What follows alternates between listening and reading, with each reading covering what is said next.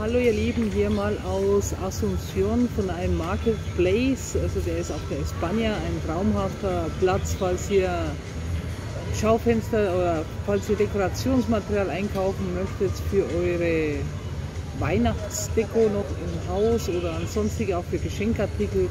Hier gibt es ausgefallene Sachen auch zum Dekorieren, falls ihr ein kleines Geschäft habt. Traumhaft, traumhafter Laden. Also wirklich schön, da kommt man ein bisschen auch in die Stimmung, Weihnachtsstimmung hier drin. Äh, was sie auch ganz toll haben, hier haben sie ein kleines Café und in dem kleinen Café gibt es die besten Zimtrollen, was man sich vorstellen kann.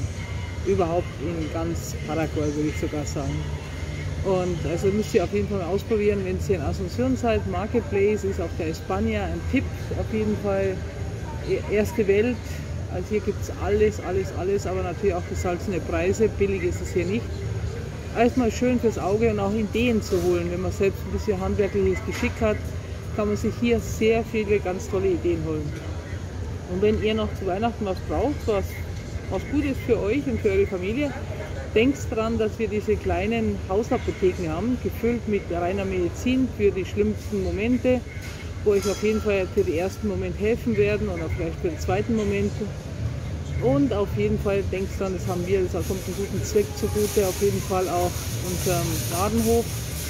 Und ja, ich hoffe, ich wünsche euch auf jeden Fall, wir werden uns bestimmt vor Weihnachten, werde ich mich nochmal melden bei euch. Aber auf jeden Fall schon mal schöne Tage, festliche Tage, obwohl bei der Hitze es natürlich sehr schwierig ist.